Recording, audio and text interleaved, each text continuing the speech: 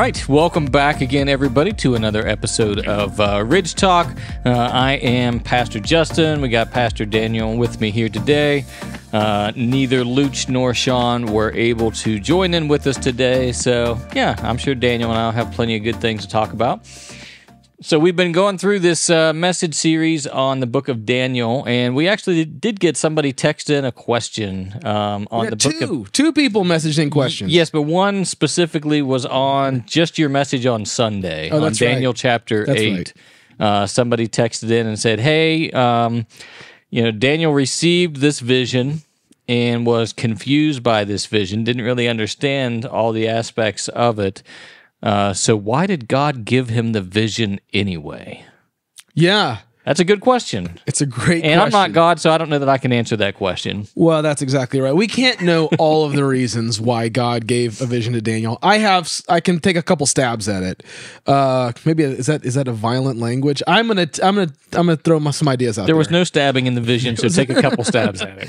Uh, here, here's here's what I think about that. Uh, number one. Now this contains a spoiler. Okay, spoiler. Uh, although actually, I think when this drops, it'll have been previous, so maybe it's not a spoiler anymore. Here's the thing. Uh, so the that's right. Daniel chapter eight ends with the statement. Daniel he said, "I got up. I was sick for many days. Finally got up. Went about the king's business." Uh, but I didn't, even though I didn't understand the vision Yeah. um, a big theme that continues to move forward in chapters 9 10 11 uh, it, it it is this idea of okay i will receive understanding in fact uh, uh, pastor sean uh, by the time this airs, he will have just given his message, and that that is part of that. That he uh, Daniel didn't understand at the end of chapter eight, but he pursued understanding uh, uh, through prayer and and fasting and those kind of things, and ultimately received understanding uh, about some of those things. Yeah. And so and I think there's another aspect in Daniel 8 too. Um, you know, Daniel didn't have understanding, and the angel Gabriel showed up to kind of explain some things uh, to Daniel. And I think from my studies last week, uh, reading through Daniel 8, that's the first time uh, the name of an angel comes out in the scriptures. I think that's right, and we'll see it again. This uh, we saw it again in chapter nine, and we're going to see it again a couple more times. Daniel, there's a lot of naming of this. You see Gabriel and you see Michael, so Yeah. uh, that's true.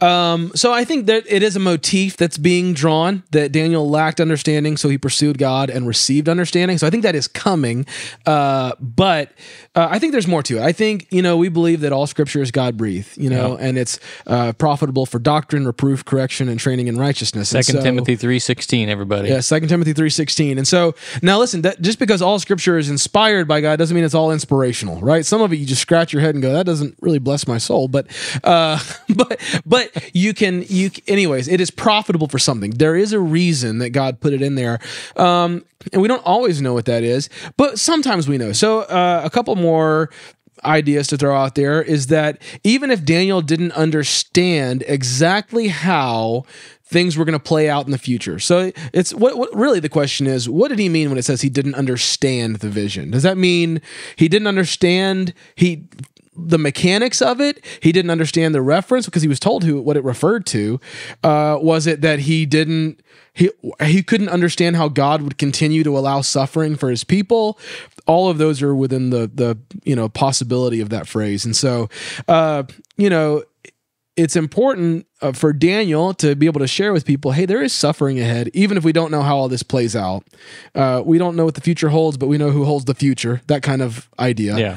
Um, I, one other thing that I'll say uh, is that even if uh, it wasn't that helpful for Daniel and the original audience, it has become increasingly helpful for people on this side of the cross and on this side of the canon of Scripture, because now we can look back and go, hey, Daniel prophesied about Alexander the Great and the four generals and Antiochus Epiphanes. He he prophesied about this and was given a vision about this hundreds of years before it, it came to pass. Yeah. And so for us, as we're on this side of the cross and on this side of the canon of Scripture, as we're going back and we're looking at our Bibles, we can look at that and go, wow, we really do know. God really is omniscient. He really does know the future. He's already declared what's going to happen, and He's in control of all of it. So we can have confidence uh, in what we're reading. I, I think those are just a couple of ways that it it is helpful that this was received, and not just received, but written down.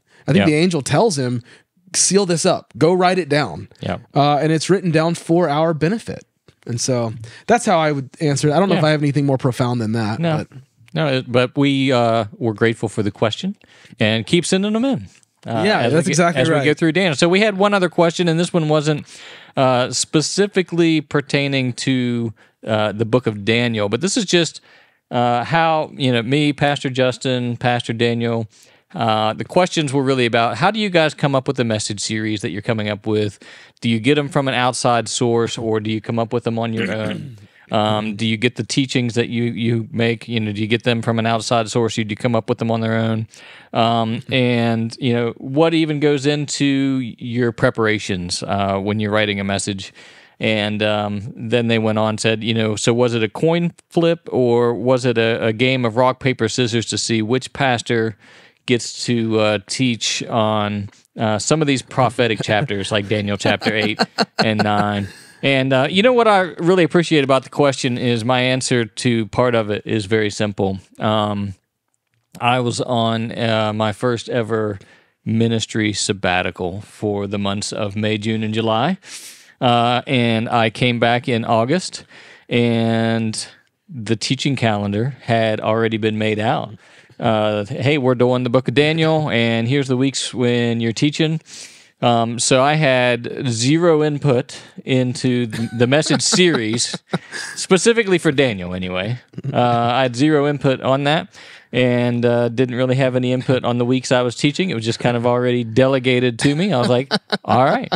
So um, if the question is, you know, who who drew the short stick or whatever, I guess it was me. Uh, oh, here, okay. So look, a couple of things. There, there's there's actually a lot of really good questions in there. Uh, so one of those has to do with how do we come up with this, and so or is this given to us? Are these sermon Yeah. series ideas given to us by yeah, an outside we, source? we do come up with these series on our own So that question, for the most part. I, I'd be interested to know the background of the person who asked it. Uh, you know, there are church traditions in which that is the case. There is a a a body somewhere else that like tells you you Here's what you're teaching. Here's yeah, or you have a choice between like these three texts, and Yeah. this is mainly what you're talking about this time. And um, I, the Methodist Church operates that way. I'm fairly certain the Catholic Church does that kind of stuff. Uh, there's a lot of those high church things. They do a lot of that. So um, one of the things we are as a, a non-denominational non-denominational church, we're an autonomous church, which means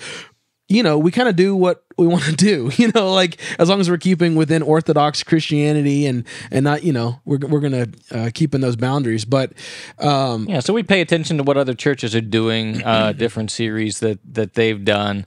Um, but a lot of times we focus on um, a book within the scriptures, and then maybe do a topical series on a specific topic that we think is uh, pertinent to our congregation at that given That's time. right. We uh by the way, asking me about preaching, it's it's one of those weird things that I could nerd out about. I mean, like, sit down, we can do a three-part hour long uh, episode each on this cuz I I love this topic. It's something that I kind of geek out about.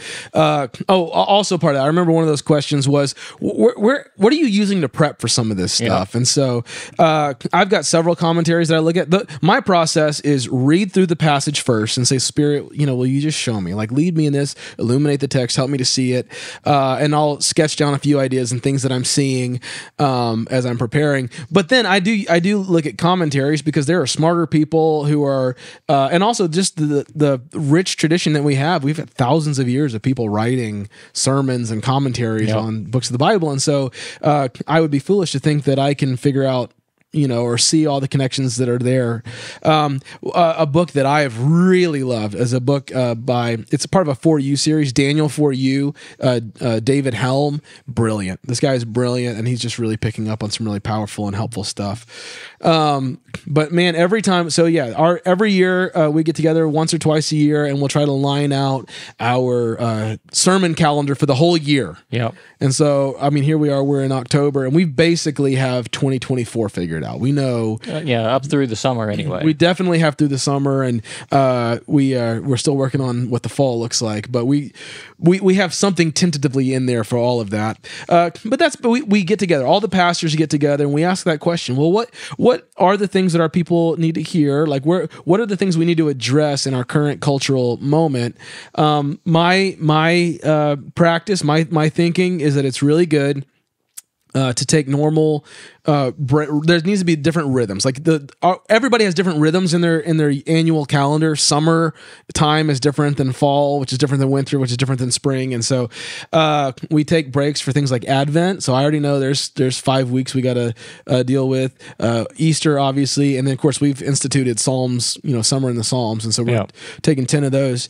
Uh, but outside of just having those rhythms uh, i like to do i like to do back and forth um, uh, uh, books of the Bible and topical series. I like to go back and forth between those, uh, and so we try to do that, and we try to jump back and forth Old Testament, New Testament. So we're in the book of Daniel, so you can likely expect that we'll have a topical series after that, and then probably a New Testament book after that, and then probably another topical series after that. And Justin, I'm looking at you like you don't know any of this. I'm it's the camera, right? Uh, uh, they're the people who are asking the questions, but that that is a, a, a kind of a framework that we work with, um, and then within each sermon, um, my goal is to uh, make sure I preach the gospel every time. So I try to preach Jesus from every passage in the scriptures.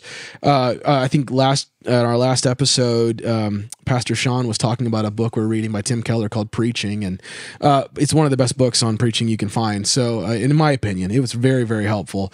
Uh, but he makes an argument for preaching through books of the Bible, uh, expositionally, uh, for preaching the gospel every time, which means preaching Jesus every time. And how do you do that? Uh, and then he has a significant section on how to preach to the heart, how to preach to the culture, and how to preach to his uh, the chapter is on the late modern mind. And so it's the idea yeah. that like, hey, people right now, like you you if you're actually going to reach people today, you have to talk and you have to understand how they're thinking culturally and even just how their brains work today because it, it works different now than it did not that our brains are working differently than they did oh, they might be i don't know technological revolution information age just the way you talk to people and what you talk about well, Tim Tim Keller was um, he passed away earlier this year. that's right Um, absolutely phenomenal teacher and communicator uh, and author. Um, his book, The Meaning of Marriage, still my favorite book on the topic of marriage, and I've read, uh, you know, a few dozen. But um, you know, he was based in downtown Manhattan in New York City. So, very, very highly educated people and congregation that he was interacting with uh, on a regular basis. So, um, getting into, you know, hey, how, what are people thinking about the faith? That was very important to him.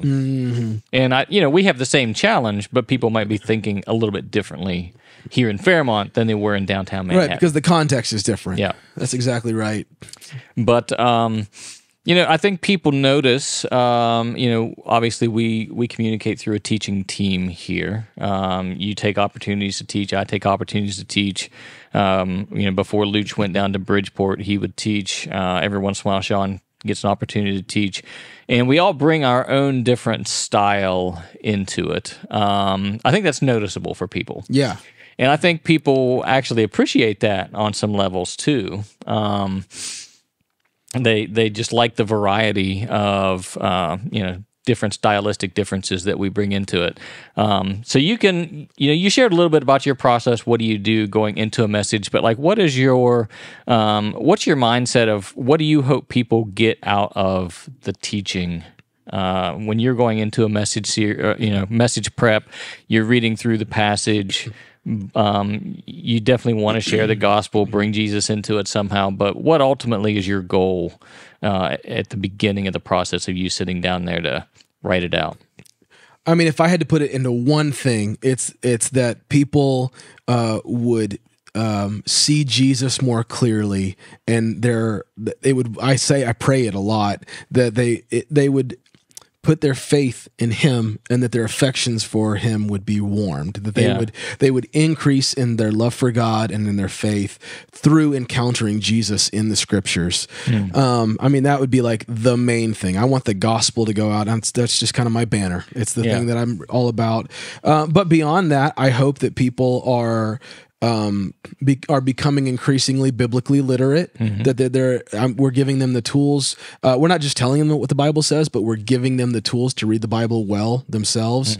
Uh, I'm hoping that people are becoming increasingly cultural, culturally savvy, and, and not just from a um the reality is we all experience culture anyways right? Like it, it's it's a it's it's weird to think like oh the church is over here christians are over here and the culture's out there. That's not the way that works right? We are all deeply embedded within the culture. Yeah. the question is are we thinking about the culture the way the culture thinks about the culture or are we able to think about the culture the way that jesus thinks about the culture and the scriptures think about it? And so uh, that's one of those. We want people we're highlighting prayer character, like all those things. My fear, the thing that I never want people to hear.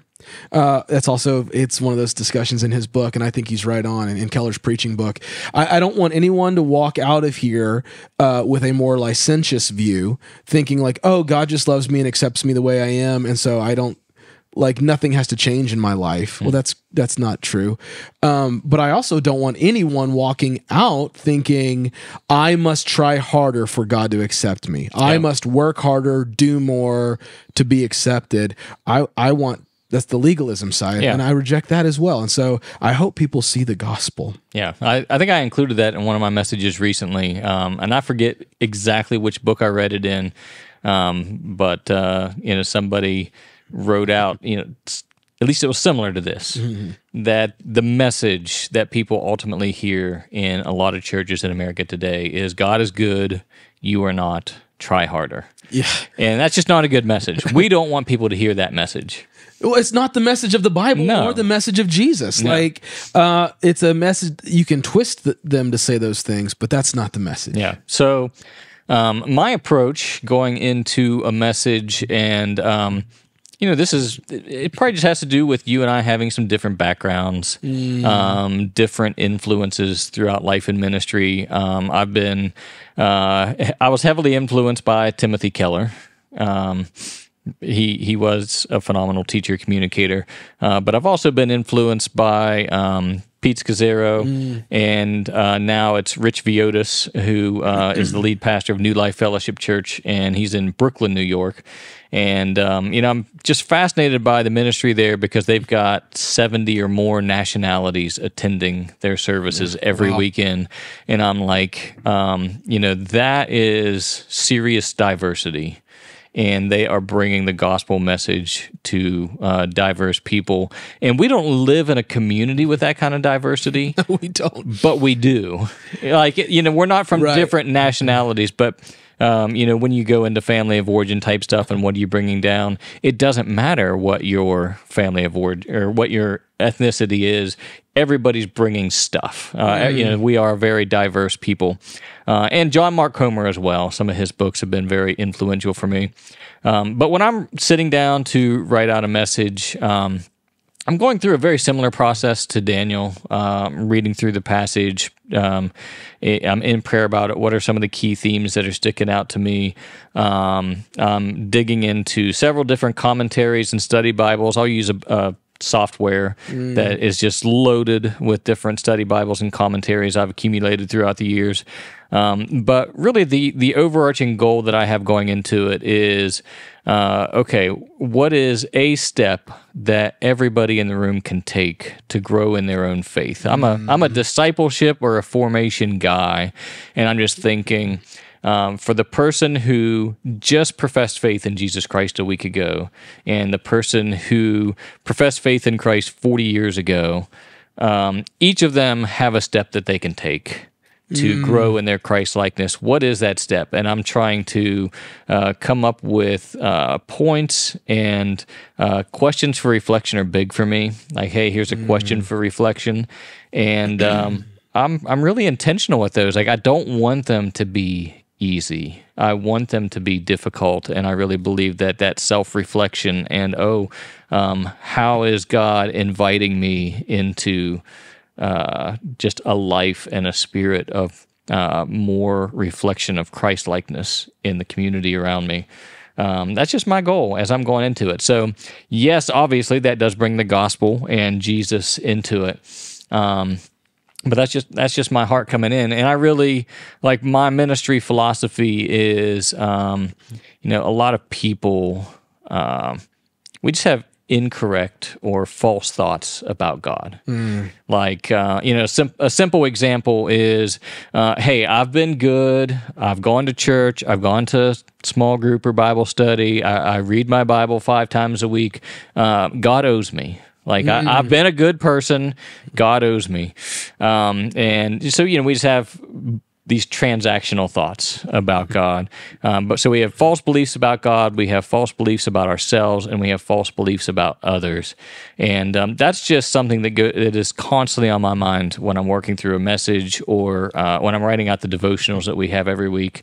Is trying to hit some of those. Um, you know, what are the lies that we're believing about God, ourselves, or others, and what does the Scripture actually teach, uh, so that we're not. Uh, just meditating on falsehoods all throughout the day. Yeah, and Justin, I want to affirm you in that that you're very good at that, at kind of identifying some of those false narratives and and lies that we're believing. And and the, the other thing I was going to say that you're very good at is is breaking things down in a way uh, that someone who's kind of just come to faith or they're kind of feeling it out and seeking it out that it's a, it's an accessible step um, that they can take. Uh, that's not a strong suit of mine. I, I really, I really struggle with that. How, how, do I, how do I make this digestible, but not just digestible, but uh, how, how do I, how do I communicate this in a way, and how do I give a step for that someone can take to really move closer to God? Um, I, I think I, I try, but it's just not it's a struggle for me, and so I would affirm you in that. You are very good at that. We're all growing in different ways. we are. I yeah. So I'm I'm not saying I'm an expert uh, pastor, teacher, communicator by any stretch of the imagination. Um, I think I've just whittled down. Hey, that's my style. Yeah. That that is my style, and that's where I've honed my energies into. That's the voice that I want to communicate with, and I really do just have a heart for uh, formation and discipleship. So that's where that's where I go. Hmm. Yeah. So, do you have any other thoughts on? Uh, you know, we answered the question. You know, where how do we come up with our message series? We we just come up with them. Uh, we we come up with those on our own. Um, I think you are more of that um, exegesis kind of guy. Like if if if uh, you weren't part of a teaching team, you could just pick a book, go through it, and then pick another book and go through it. I think maybe. Yeah, yeah. I, I, actually struggle with the topical stuff. It would be my preference to kind of just go through books of the Bible, but I, I recognize the need that like, hey, we need to address things in a timely way that aren't going to be addressed as timely yeah. in the scriptures. And, and so, I and I like uh, like I don't mind the uh, the book series. I don't I don't mind it. Um, uh, but like the rooted series that we did last year. Oh yeah. Like that's my uh, that's my cup of tea. Um, you know, they, they, are topical, but they are, hey, uh, where are you rooted? in your life right, right. now. Uh, the tension point series we had yeah. a little. Over, I loved that. That was and so it was a topical series, but I was like, I really think this is gonna be a good one, and it was. I really enjoyed that yeah. one. Hey, there was one part of the question we didn't answer was who drew the short. I, mean, I guess you said you drew the short stick, and we just assigned it to you. you so uh, here, let me let me say this because this is this is kind of funny. Um, do we get these message series ideas from other churches? It's kind of a yes and no. Like we do, we do look at hey, what are other churches doing and, whatnot.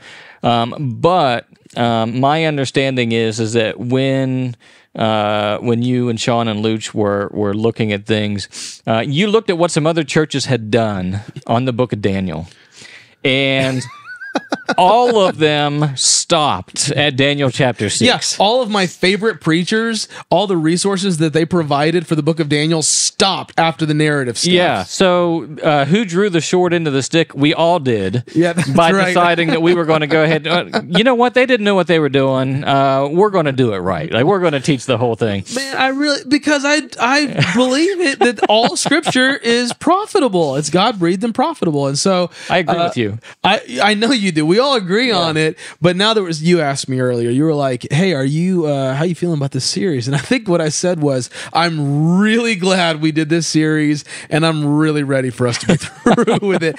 But the reality is, it's a growth point for me. I'm not used to preaching this kind of apocalyptic Yeah. literature, and I think unfortunately some of the messages have gotten a little bit longer that I've been preaching, and it's because I'm trying to find a way to unpack all the stuff I'm learning, and so Well, and and two, like we've we've brought up the chiasm in Daniel Oh, throughout yeah. this message series. So like uh, chapter one, prologue, chapter twelve, epilogue. Um, You know, chapter two, you've got this vision um, with uh, statue with Nebuchadnezzar, and uh, you know, there's another similar vision in chapter eleven. So we're getting to this point now where it's like, hey, I know that you know, technically this chapter is different from this one that we did earlier, but it seems thematically the same. it does. And it's because it is. That's right. so It's there is a, there the is a very difficult part of preaching this prophetic part because it's like, hey, haven't we taught this before? Oh yeah, we did like three weeks ago. um, but that was a uh, you know that was a uh, writing style that the author intentionally used to draw right. people specifically to. Uh, the coming Messiah that we saw in your message on uh, Daniel chapter seven. So Right, right, right. And so, you know, we're all growing and we don't all have it figured out, least of all me. So, yeah. There, there's great stuff in the second half of Daniel, um, and we may or may not ever teach the second half of Daniel again.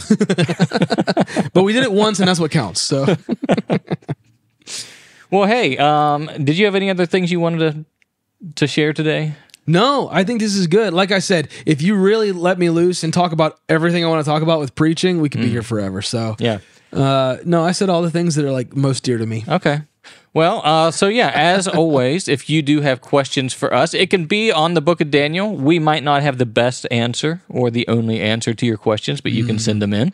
Uh, or if you have any other questions just about South Ridge or even just other questions about the faith, you can feel free to uh, text or email those in to us. We've got that information there on the bottom of the screen. And uh, similarly, you know, if anybody ever just wants to meet with either Daniel or I just to talk about something on your heart that, um, you know, you, you want to really just get some care with or, Yes. or ha- have a listening ear or whatever, uh, we're available for that too. So you can reach out to us for that. And uh, I think that's all we have for today. So we look forward to seeing you all again in a couple weeks. And until then, uh, be blessed.